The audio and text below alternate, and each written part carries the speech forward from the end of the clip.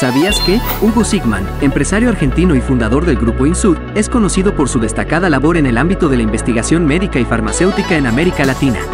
A través de su empresa, ha impulsado numerosos proyectos relacionados con la salud y la innovación científica. Además, ha establecido alianzas estratégicas con importantes instituciones académicas y científicas, así como con organismos gubernamentales, para fomentar el desarrollo de medicamentos y tratamientos innovadores.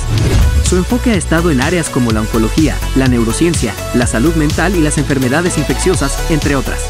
También ha estado involucrado en otras áreas, como la producción de alimentos, la energía renovable y la educación.